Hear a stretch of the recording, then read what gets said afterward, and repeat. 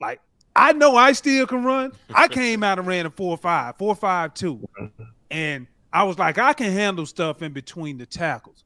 But I was like, I'm, I'm ready to play against CJ though. Mm. Dog, I remember you broke out on the counter. And yeah. I've seen Pat, we've seen Patrick Willis catch wide receivers from out of the frame. And I remember him, you broke. And I was like, I ain't worried because I know Pat is gonna get it. Man, it looked like Patrick Willis had a deep freeze on his back, bro. I was that was the one I was like, oh, this dude, his next level speed, brother. You remember that play in San Fran? I remember it. I remember it.